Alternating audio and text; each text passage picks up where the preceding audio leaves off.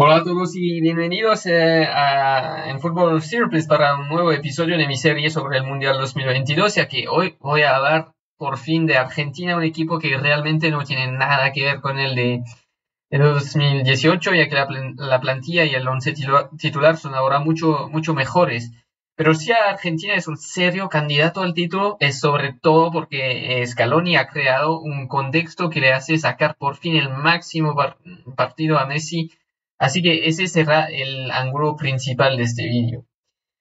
En primer lugar, vamos a analizar las fases de Argentina sin balón, en, las que obviamente Messi no, no, está muy activo. Sin embargo, la albiceleste no se debilita en general por ello, ya que el delantero centro, en este caso Lautaro Martínez, lo compensa tensionando incluso a los laterales contrarios, mientras eh, el jugador del, del PSG se, mantiene arriba en el centro, donde eh, se, pues se, se convierte en una auténtica amenaza en caso de recuperación, como ahora veremos.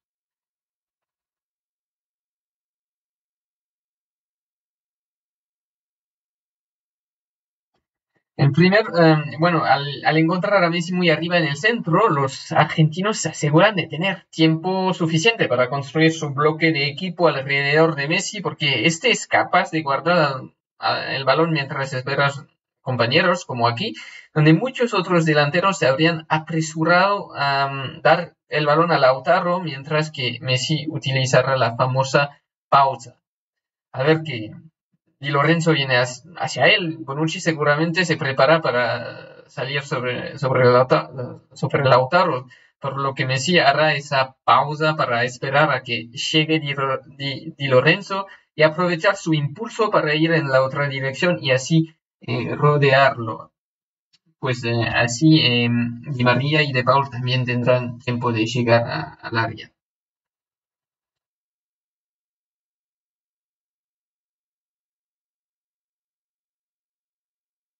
Pero si el equipo contrario consigue salir de esa buena presión argentina y llegar más, arriba, Messi no es menos peligroso porque en caso de recuperación puede volver a conservar el balón a espera de que lleguen sus compañeros para iniciar esta vez verdaderos contraataques que a veces puede, puede lanzar el mismo sorprendiendo al, portador del balón desde atrás como, como aquí con Rodrigo.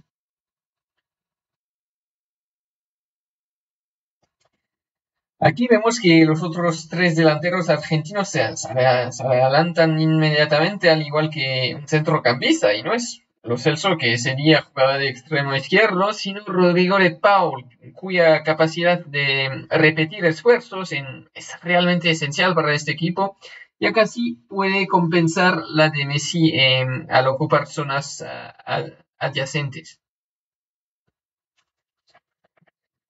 Y luego con la pelota, Argentina tiene la, posibilidad esta vez de, jugar en, largo gracias a Lautaro Martínez, excelente en ese, registro y por lo tanto preferido al muy buen eh, Julián La Araña Álvarez y gracias al buen juego de pies de los defensores también, eh, especialmente Romero, al del, portero, del portero del arquero eh, Martínez.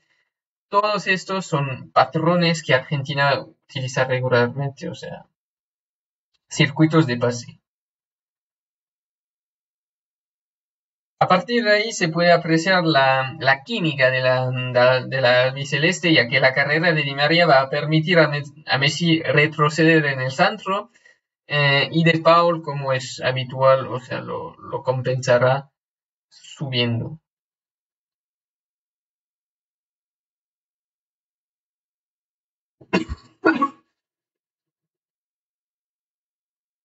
Pero Argentina también es capaz de realizar salidas más, cortas, creando una superioridad numérica en, el primer tercio del campo, como aquí, donde Emiliano Martínez nos, demostró una vez más que es mucho más que un portero de un arquero solo de, penales. Se dejó disfrutar em, eh, el toco y me voy de Ezequiel Palacios, un centrocampista que me gusta mucho, aunque se lesione con demasiada frecuencia, ¿no? Toco y me voy.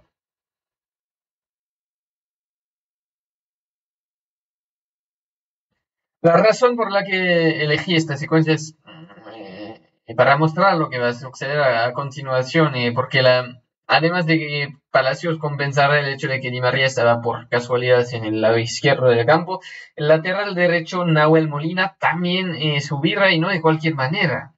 Al ver que Bastoni se, se dirige hacia Messi, va a correr hacia el defensa italiano y, le va a hacer bajar a su área, permitiendo a, Messi llegar a, su zona favorita, la, la famosa zona 14 de, Guardiola. O sea, ahí, ahí puede subir hasta el área. Dicho esto, esa falta de un extremo derecho en el juego se planifica a veces, ya que Scaloni alinea de vez en cuando solo a tres delanteros, con Messi más descentrado, como aquí, donde aparece en el spotlight de Rodrigo de Pau, el, jugador destacado. De hecho, en este último permitirá a Messi recibir el balón más abajo eh, a través del hueco amarillo que va a crecer a medida de que De Paul se va, se va trayendo a, a Caicedo con él. Tocará luego apreciar cómo Messi da la impresión de no estar preocupado por el, por el juego, caminando y mirando hacia adelante para así no despertar, despertar la, la atención de, su rival directo. Y, y, aquí, aquí viene. Y ahora vais a poder apreciar cómo Messi escondió su pase de Paul.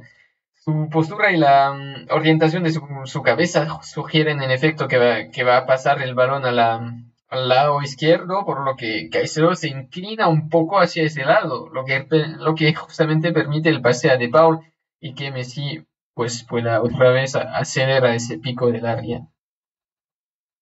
Ahí se viene. Y zona 14. Y pues acaba en un gol, ¿no?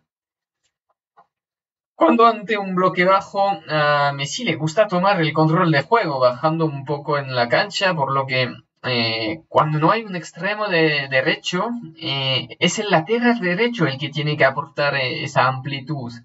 Sin embargo, aquí como, Uruguay tenía una línea de cinco defensas, su, lateral izquierdo pues, podía ver eso, por lo que es importante hacer carreras profundas para hacer que los defensores de, la oposición se cierren por dentro.